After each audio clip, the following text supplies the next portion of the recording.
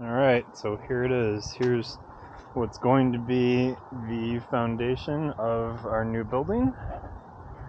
Uh, they came and did this a few days ago. Brought in, you know, a bunch of dirt to level it out, that sort of thing. They brought too much, so that's why we have that big pile of dirt right there. We're going to be getting rid of that hopefully shortly.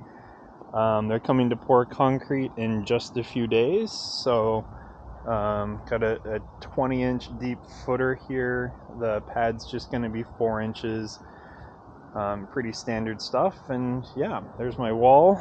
So actually, I haven't even walked around this thing since I've done since they've done this. But let's do that real quick. Obviously, a lot of this extra dirt's going to have to go away. But um, yeah, looks looks pretty good.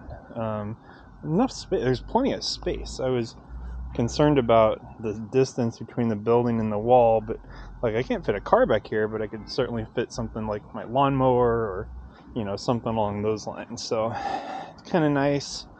You'll have a little bit of space around this thing to be able to walk around. But yeah.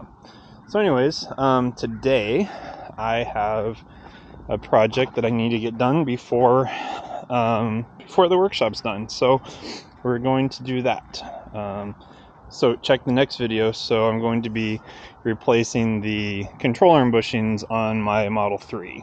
It's got 76,000 and they're starting to feel just like a little bit of slop I can feel in braking and acceleration. So I'm going to replace those. Unfortunately, I'm working out of this uh, garage that's completely packed. Got my project car right there and yeah it's just rough right now. We're at the point where we're just throwing stuff in here just to bide our time.